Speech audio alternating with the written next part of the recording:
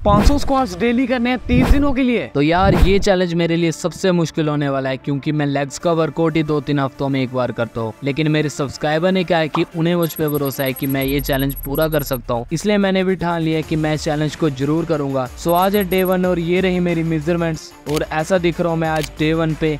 अब स्क्वाट्स करने की बारी और 500 स्क्वाट्स डेली करना तो मेरे लिए हैवी वर्कआउट में ही आएगा। तो मसल गेन में भी इतना ना हो, लेकिन मसल इंड्योरेंस ज़रूर बढ़ेगी। इसलिए मैंने साथ में टाइमर भी लगाया है, जिससे पता चले कि 500 स्क्वाट्स करने में कितना टाइम लगता है, ताकि डे थर्टी पे इसे कंपेयर कर सकें। और इस चैलेंज को करने के लिए मैं तीन चार दिनों से डेली सौ से दो सौ कर रहा हूँ, ताकि एक ही बार पाँच सौ करने में इतनी दिक्कत ना आए। लेकिन तब भी आज डे वन पर काफ़ी मुश्किल आ रही है और नीज में भी दर्द हो रहा है। लेकिन थोड़ी ब्रेक ले लेकर मैं कंटिन्यू रहा और टोटल पाँच सौ करने में मुझे आज लगे हैं। सत्ताईस मिनट, उन्नीस सेकंड। और सच में ये सीढ़िया तक भी काफ़ी मुश्किल से उतर पाया मैं। इसके बाद मैंने अपनी पोस्ट वर्कआउट में ली और रात को खाना खाने के बाद मैं सो गया। और सुबह उठते ही मुझे पता चला कि क्यों 500 स्क्वाट्स करना इतना मुश्किल है। जैसे मैं बेड से उठा, मैं प्रॉपर खड़े भी नहीं हो पाया। ग्लूट्स और थाइस के सारे मसल्स में दर्द हो रही थी। इसलिए मैंने थोड़ी रेस्ट करी, बाद में मेडिसिन भी खाई। जिसके बाद मुझे थोड़ा ठीक लगा और सरसों के तेल से मालिश करने के बाद शाम को फिर से स्क्वाट्स करने लगा। मुझे उम्मीद तो नहीं थी कि मैं आज स्क्वाट्स कर भी पाऊँगा जैसे सुबह हालत थी, लेकिन धीरे धीरे मैं ब्रेक ले लेकर स्क्वाड्स करते जा रहा था और टोटल ढाई सौ स्क्वाट्स करने के बाद मैंने ब्रेक ली और चार घंटे के बाद फिर से ढाई सौ स्क्वाट्स किए। नेक्स्ट डे से मैंने प्लान बनाया कि मैं 200 स्क्वाट सुबह और 200 स्क्वाट शाम को करूँगा और सौ दिन में किसी भी वक्त कर लूँगा। और इसी तरीके से मैं डेली 500 स्क्वाट्स कंप्लीट करते जा रहा था, लेकिन डे सेवन पे मेरे राइट घुटने पे काफ़ी ज़्यादा दर्द हो रहा था। काफ़ी मुश्किल से मैं सुबह 200 स्क्वाट्स किए, लेकिन उसके बाद मैं काम भी नहीं कर पाया क्योंकि काफ़ी ज़्यादा दर्द हो रहा था। और कुछ और सब्सक्राइबर ने कहा था कि संडे को रेस्ट भी रखो, इसलिए मैंने डिसाइड किया कि इन थर्टी डेज़ में संडे को रेस्ट रखूँगा। बाकी दिन डेली 500 स्क्वाट्स करूँगा। इसलिए मैंने बाकी स्क्वाट्स नहीं किए आज। और नेक्स्ट डे मुझे थोड़ा ठीक लग रहा था रिकवरी भी अच्छी हुई थी। इसके बाद मैंने उसी तरीके से 200 स्क्वाट सुबह और बाकी शाम को किए। डे इलेवन तक जर्नी अच्छे से ही चली। लेकिन नेक्स्ट डे मैं थोड़ा बिज़ी था, जिस कारण मुझे रात को ही कंप्लीट पाँच सौ करने पड़े। और फिर नेक्स्ट डे भी सेम ही हुआ, जिस कारण सुबह उठते ही मुझे मसल्स में काफ़ी ज़्यादा दर्द होने लगा। लेकिन आज अच्छी बात थी कि आज संडे था, इसलिए आज मैंने रेस्ट ही करी और इसके बाद आगे जो जर्नी सिंपल सी ही चली, मुझे आदत हो गई थी अब 500 स्क्वाट्स करने की, लेकिन थोड़ा थोड़ा दर्द हमेशा ही रहता था, लेकिन संडे ब्रेक की वजह से थोड़ा रिलैक्सेशन मिलती थी। डे 24 पे मैंने टाइमर लगा के एक बार 500 स्क्वाट्स करने का ट्राई किया, जिसमें मुझे 19 मिनट 18 सेकंड लगे और नेक्स्ट डे से मैंने सुबह ही 500 स्क्वाट्स करना शुरू किए, लेकिन ऐसे मुझसे प्रॉपर फॉर्म में नहीं हो पा रहे थे, इसलिए मैंने ढाई सौ सुबह और ढाई शाम को फिर से करना शुरू किए और ऐसे ही जर्नी आगे भी स्मूथली चलती गई। आज है डे थर्टी और सबसे पहले 500 स्क्वाट्स करते हैं। टाइमर मैंने लगा लिया और मैं आपको बता दूँ कि 500 स्क्वाट्स एक इंटरमीडिएट बंदे के लिए भी हैवी वर्कआउट में कंसीडर किया जाएगा। सो ये चैलेंज आप बिल्कुल भी ट्राई ना करें। अगर आप एक विगनर है तो डेली 100 स्क्वाट्स आप ट्राई कर सकते हैं। और मुझे आज 500 स्क्वाट्स करने में लगे हैं 18 मिनट, छह सेकेंड सो इम्प्रूवमेंट तो ये है और ये रही मेरी मेजरमेंट्स